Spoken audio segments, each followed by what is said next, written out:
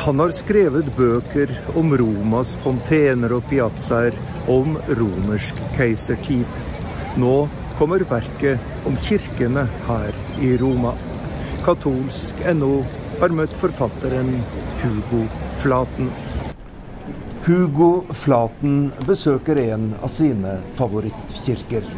Santa Maria Sopra Minerva er Romas eneste gotiske gudshus, og det blir omtalt i forfatterens kommende bok. Hvorfor skriver han om Romas kirker? Roma har jo vært kristenhetens sentrum eh, i snart 2000 år. Så det er eh, veldig mye av kirkens, av kristenhetens historie som på en måte er, eh, befinner seg her. Å grave i det, da, det er, jo, det er jo veldig meningsfullt. Santa Maria Sopra Minerva rommer store kunstskatter.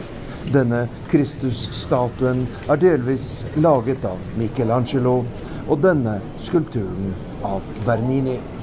En av 1400-tallets største malere fra Angelico er begravet her.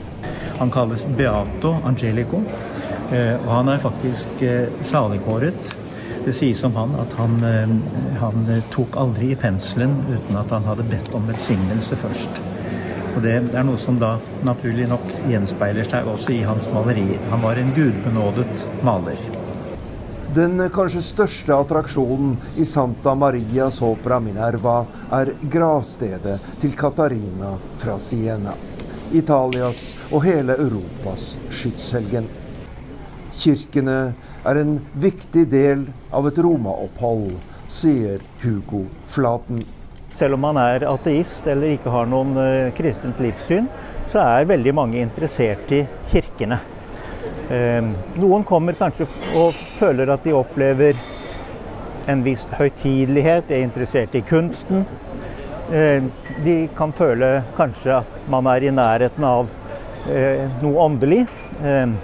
Mens, og noen føler kanskje at dette er bortkastet eh, bruk av penger, med all, kunsten og alt hva det har kostet å lage.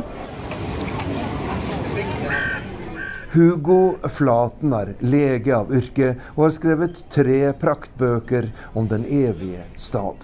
Fontenenes by, piazzaenes by og keisernes by.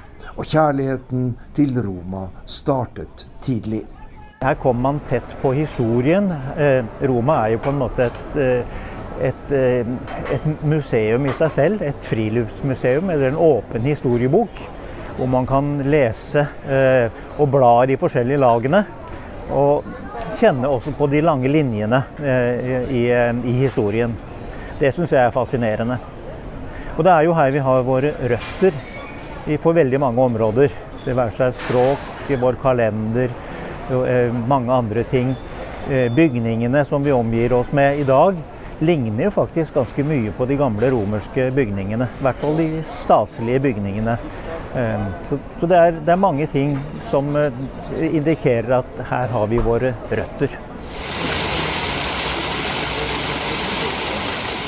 Vannet er Romas sjel, er det blitt sagt. Og få steder fornemmer man dette sterkere enn ved Berninis berømte fireflodsfontene på Piazza Navona.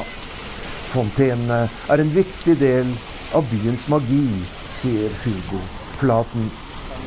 Roma ble jo faktisk kalt eh, vannenes dronning allerede i antikken. Og akkurat det med, med, vann og Roma, det er noe av det som kanskje har imponert meg mest.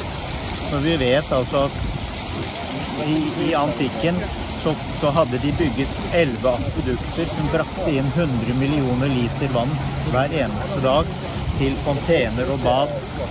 På 300-tallet var det elleve store bad, 965 andre offentlige bad eh, og 1300 fontener. Om noen måneder kommer Hugo Flatens fjerde bok, 'Roma kirkenes by', på St. Olav forlag. For katolsk.no, Arnt Stefansen, Roma.